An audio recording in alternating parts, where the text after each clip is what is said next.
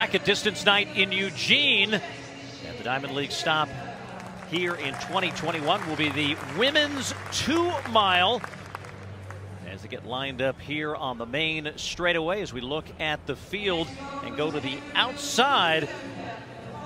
And when we bring a good distance race to Hayward Field, we get the best in the world. In this case, world record holder at 5 and 10,000 meters. Letesenbet Gidey of Ethiopia. Surprised to see her in the two mile tonight, but I think she's got a lot to prove and a lot on her mind. So we'll see if she gets out after it early. And right next to her is Obiri, so she will want to challenge right away. Hellen Obiri, twice the world championship champion at 5,000 meters, and Coco Klosterhalfen of Germany in the German kit, eighth at the Olympic Games in the 10,000 meter. Just the fourth race for her this year, and she comes into this very unique distance at two mile. Just how unique?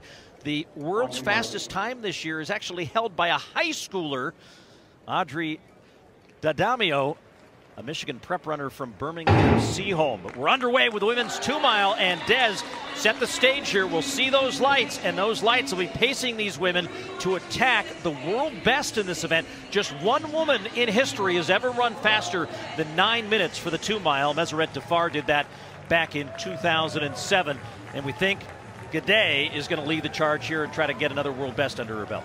Absolutely. I think they're out here to do something special. The setting's perfect. You got the crowd. This is gravy season. You're running a two mile. The Olympics are over. You're trying to get everything you can out of the season, but without the pressure of getting through the rounds. So everything tonight is bonus, and they're going to go after it and charge hard, hopefully right from the beginning here.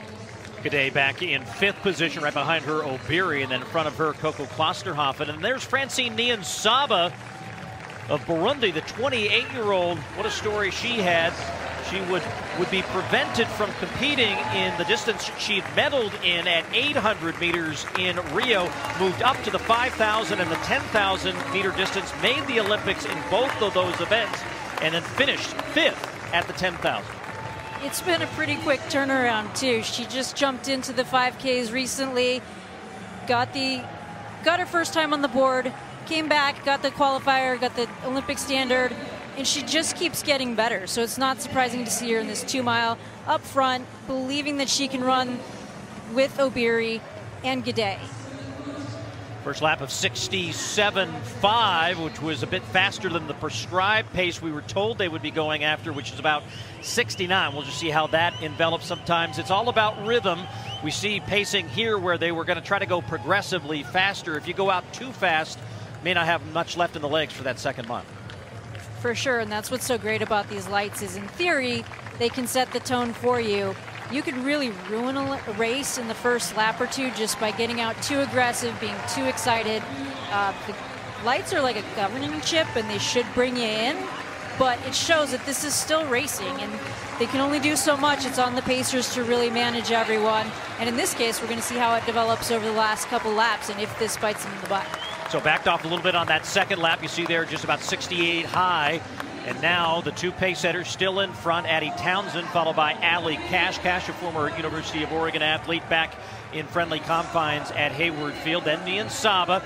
And then Klosterhalfen. And then Hellen Obiri, the aforementioned world champion at 5,000 meters. Silver once again in Tokyo at 5,000 meters. She also silver medaled in Rio in 2016 you can see them now settling in and this is the problem with the early laps of these races. It's one too fast one too slow. It takes a few to just lock in but it looks like they're managing it.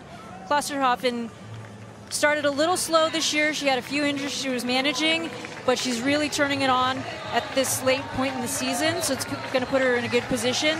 Um, and when she's on in two miles, we've seen what she's done in indoors on the boards. She's among the best, so it's not surprising to see her really chipping away, and she's probably rounding into form here. Well, rounding into speed right now is Obiri, and a bit of jostling there as Klosterhalfen got a little bit caught in a pinch and had herself between a couple of runners and the rail. Now she falls back into that fifth spot with Allie Cash still pacing the group with Obiri, then Niyonsaba Gidey and Klosterhalfen with a little shove to the back of Gidey. Yeah, it's getting chippy out there. You usually see that in football, not on the track, but I like it. It means people are aggressive. They all want to be there. They're fighting for their spot. You want to be on that rail, and position matters here. Go back to that spot just before the finish line where Niyonsaba kind of cut in. And, you know, Niyonsaba was disqualified in the 5,000 meters in Tokyo, still learning the rhythm of this longer race. She was, and she bounced back fine in that 10. It was a great turnaround. You got to keep your head on straight. Same thing with being jostled in a race like this. It's part of the racing. You can't let that upset you or get in your head to make you do something silly like make a big surge. And she seems calm and collected, and it's part of the race. So Cash has dropped off as the final pace setters. They come through the first half in 432. And so the plan was to pick up the pace once the pace setters went off. We're expecting laps now about 67 and perhaps even faster. And Gidey has tried to insert some pace here since Cash went off the track. Absolutely. You can see it in the group. It's starting to spread out. Klosterhalfen's having a little bit of a, a struggle to hang on the back here. You want to stay on that group and just let them pull you along. It's a big moment for her. She's got to really attach. And there's not too much racing left, but when you start to think about what's left, that's when it gets really difficult. You have to just stay in that moment.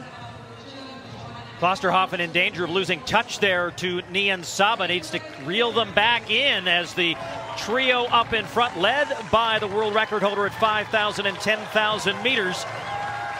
Letesenbet Gidey down the main straightaway in just her fourth race of the season, gearing up to attack this world best again. 858 58 is the mark to beat as they come through that last lap in a fast 66 5. Gidey took a little peek back. She's racing. She's worried about Obiri. She's worried about Niyonsaba, but she also has the clock on her mind. She needs to press here. It looks like they're kind of regrouping on her. Just a little bit left to go. She's got to really push here. Obiri back in third, trying to use the arms to stay in this race. Niyonsaba looking very confident. Again, moving up in this distance over the last five years. Jos Hermens on the track calling out instructions to Gidey. And now definitely some separation between Gidey and Niyonsaba and the world champion Obiri. Niyonsaba's put herself in a great spot. She's been shadowing Gidey and the leaders this entire time. She's letting them do the work, letting them pull the pace.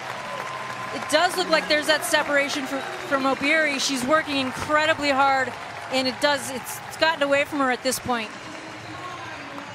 So two laps to go. Niyonsaba inside her comfort zone. Again, a medalist in the Olympic Games at the 800 meter distance. And right up alongside Gidey as Obiri begins to look around, wondering where everyone is behind her. Maybe thinking about third. And look at Niyonsaba goes to the lead against the world record holder. That's the move. She looks so strong. Gidey's been looking like she's been struggling just a touch. It seems like the effort's much bigger for her, much greater for her than Niyonsaba.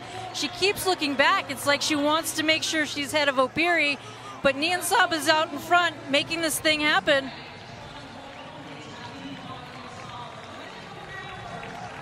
As they come around the final turn, down the main straightaway for the penultimate time, it's Niyonsaba leading Gidey.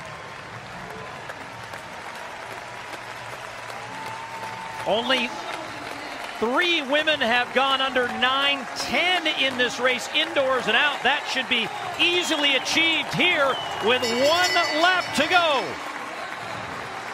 This is where she thrives as an 800 meter, that kick, that last lap.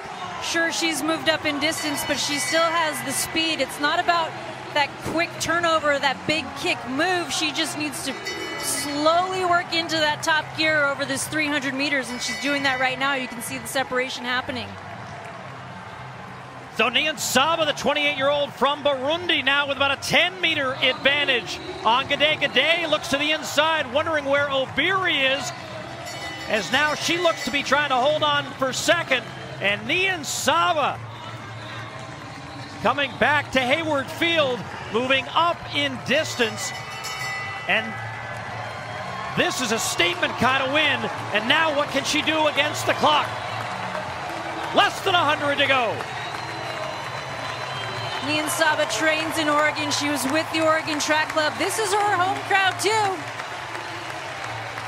As she comes to the line, she will just be off the nine minute barrier.